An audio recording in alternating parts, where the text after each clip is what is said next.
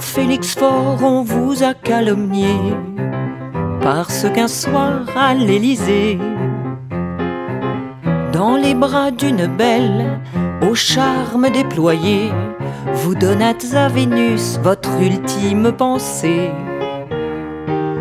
Dès lors, votre parcours fut caricaturé, réduisant votre destinée au seul soupir final d'un bonheur concentré dans les pectas ultimes d'un tendre sigisbé.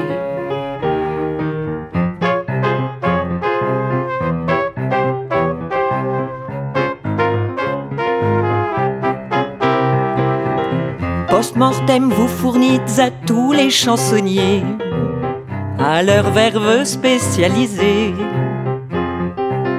dans les clins d'œil paillards et les lubricités, une source infinie d'allusions débridées.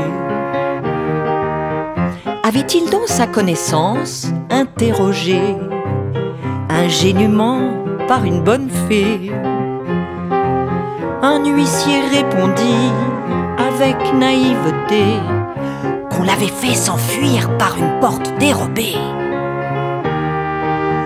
À la chambre, chacun reprit avec gaieté l'anecdote à la dérobée.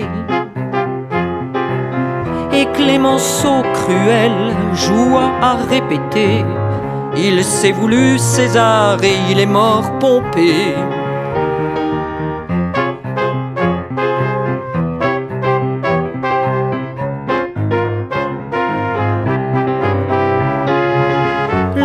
De l'État aurait dû occuper nous ressasse la renommée. Vos jours comme vos nuits, et sans discontinuer, auraient dû vous soustraire à ces billevesées. Or, je le trouve injuste pour une vitalité, fort digne d'être saluée. La mort saisit le vif en pleine volupté Laissons aux puritains les rigueurs affichées.